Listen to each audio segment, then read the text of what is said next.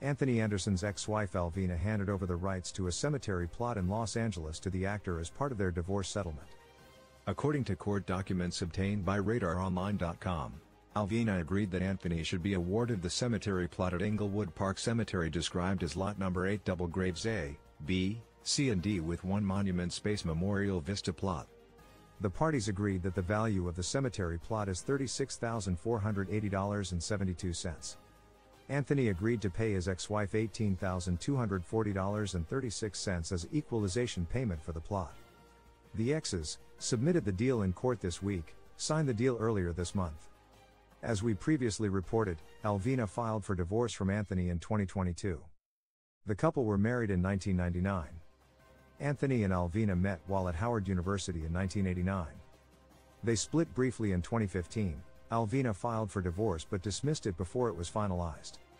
The petition, filed in Los Angeles Superior Court, demanded spousal support from Anthony.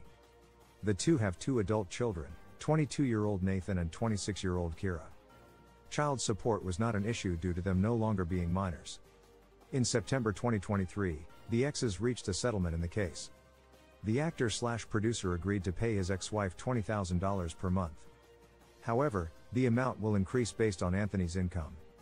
The deal said if Anthony's gross earnings are above $2 million, he will pay an additional 20% of his income to his ex wife in support. For their deal, Anthony walked away from the marriage with a mansion in Encino, California and a 2004 Land Rover.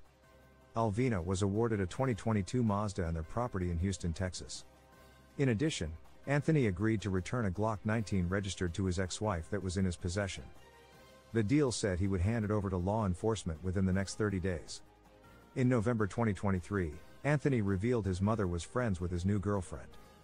You know, even when I was dating before I got married and now that I'm divorced, she's always been curious about who this person is, who it might be, and all that, he said. But for the most part, she stays out of it.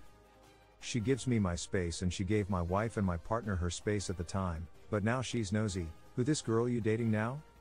Don't worry about it, mama. Don't worry about it. Now they're friends. My mom calls my lady up now.